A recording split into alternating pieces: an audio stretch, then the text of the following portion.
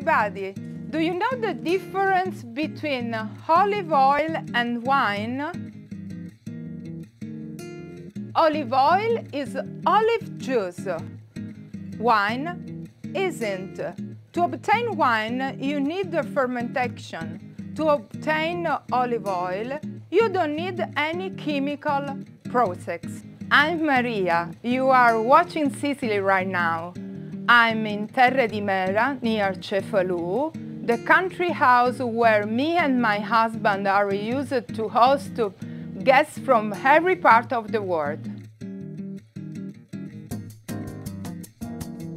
I will be back soon with other video to experience with you the traditional authentic Sicilian cuisine. don't forget to buy our olive oil first. See you!